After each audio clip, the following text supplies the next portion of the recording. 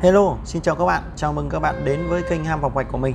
Trong cái video này, mình sẽ chia sẻ cho các bạn cách tạo cái tài khoản iCloud và cái tài khoản iCloud này cũng chính là cái tài khoản App Store để các bạn tải các ứng dụng trên cửa hàng của App Store. Bây giờ để tạo được cái tài khoản này các bạn cần phải vào cài đặt và trong cái phần cài đặt này các bạn tích vào cái ô đăng nhập vào iPhone đây các bạn nào đã có tài khoản ID Apple rồi thì các bạn sẽ điền vào cái ô ID Apple. Còn các bạn nào chưa có, các bạn sẽ điền vào ô không có ID Apple hoặc đã quên ngay dòng dưới.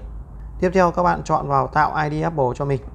Và ở đây xuất hiện cái ô là họ tên ngày tháng năm sinh. Các bạn tên là gì, họ là gì và ngày tháng năm sinh của bạn như thế nào thì các bạn sẽ điền vào đây.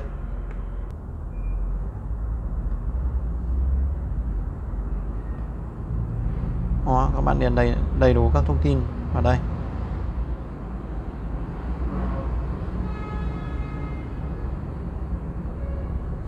Khi các bạn điền đầy đủ thông tin rồi thì các bạn sẽ ấn vào ô tiếp theo.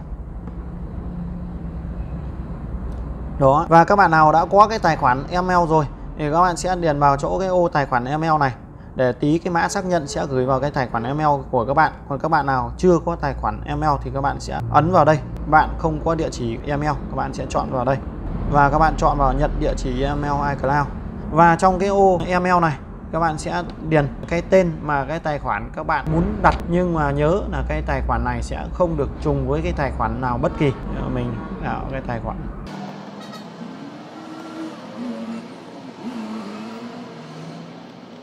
Các bạn tiếp theo.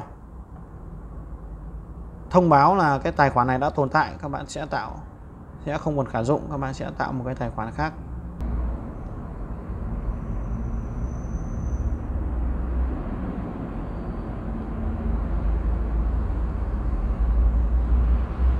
Rồi, vậy là cái tài khoản này đã không trùng với tài khoản nào cả.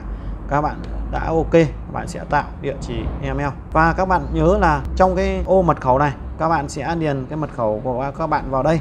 Và cái mật khẩu này của bạn phải đủ 8 ký tự trở lên, bao gồm một chữ số và một chữ viết hoa và chữ thường. Các bạn sẽ điền vào đây.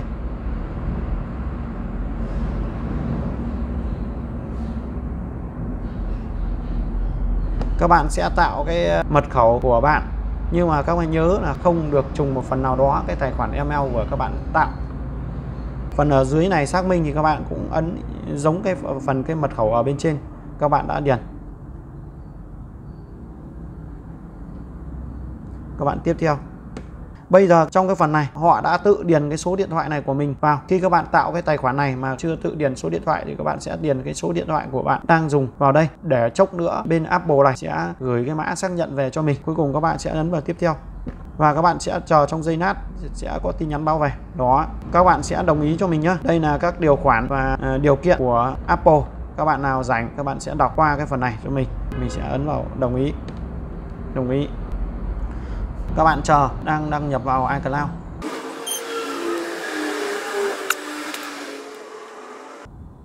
Nó và bây giờ sẽ yêu cầu là nhập cái mật mã của iPhone của bạn. Vì cái điện thoại iPhone của mình à, đặt mật khẩu cho nên nó sẽ yêu cầu cái mật khẩu iPhone này. Còn nếu mà các bạn nào không đặt sẽ không yêu cầu cái này. Còn các bạn nào đã đặt mật khẩu iPhone của các bạn thì nó sẽ yêu cầu cái mật khẩu thì các bạn sẽ ấn vào cái mật khẩu mở màn hình của các bạn nhé các bạn chờ trong giây lát để nó xác minh. Đó. Và các bạn ở đây Ờ, dữ liệu Savi của bạn iPhone này sẽ được tải lên và nhập với iCloud. Ờ, những cái ứng dụng nào mà các bạn ờ, cần tải lên iCloud thì các bạn cứ ấn vào nhập thì cái tài khoản này là trên cái máy của mình. Mình hướng dẫn cho các bạn, nên là mình cũng không cần thiết nhập, cho nên mình cũng không nhập. Đó, vậy là mình đã hướng dẫn cho các bạn tạo xong cái tài khoản iCloud. Và cái tài khoản này chính là cái tài khoản để tải ứng dụng của các bạn. Giờ mình sẽ quay trở lại và mình vào cái tài khoản App Store. Đó. Tiếp tục. Giờ mình sẽ vào cái phần tìm kiếm đây, cái ứng dụng nào mà các bạn cần tải về thì các bạn sẽ chọn vào đây, như mình nhận TikTok chẳng hạn. Các bạn nhận. Các bạn cài đặt. Và các bạn sẽ điền cái mật khẩu mà các bạn đã tạo vừa rồi vào đây.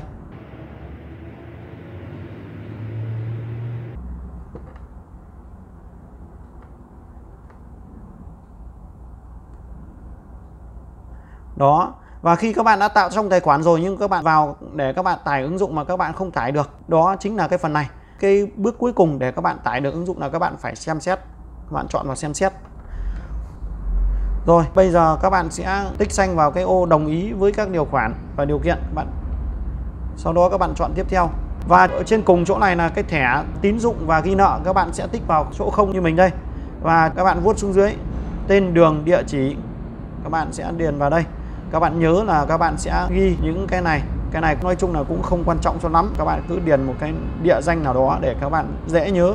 Mình sẽ điền vào là Hải Dương. Các bạn chọn xuống dưới. Mình cứ tích tất cả là Hải Dương luôn nhé các bạn nhé.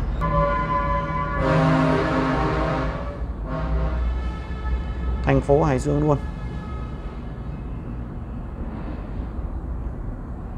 Và ở dòng cái mã zip này thì như cái mã zip của Hải Dương mình là 170.000 còn các bạn nào chưa rõ cái mã zip của tỉnh, thành phố mình đang ở thì các bạn sẽ có thể vào với Google các bạn tìm kiếm cái mã zip của tỉnh, thành phố của mình. Và cái số điện thoại đây thì mã vùng của Việt Nam của mình là 84 thì các bạn sẽ điền vào 84 và sau cùng là cái số điện thoại của các bạn đang dùng trên máy. Như số điện thoại của mình hiện tại đang dùng trên máy này là 038 5 39 25 26 cuối cùng là các bạn ấn xong tiếp theo đó. Vậy là ID Apple đã thông báo về là đã hoàn tất.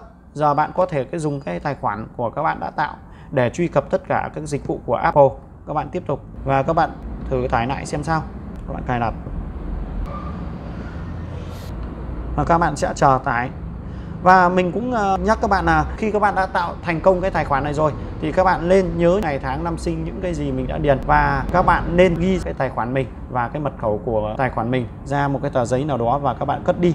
Tránh cái tình trạng sau này các bạn cần reset máy, cần chạy lại phần mềm. Lúc đó các bạn không nhớ là rất chi là phức tạp. Mình đã tải xong cái tiktok này. Vậy là cái video vừa rồi mình đã ờ, chia sẻ cho các bạn cách để tạo cái tài khoản id Apple và cái tài khoản tải ứng dụng App Store. Xem xong cái video này, các bạn thấy cái video của mình hay và hữu ích thì hãy bấm đăng ký kênh để theo dõi những cái chia sẻ ờ, tiếp theo của mình. Ờ, mình xin cảm ơn.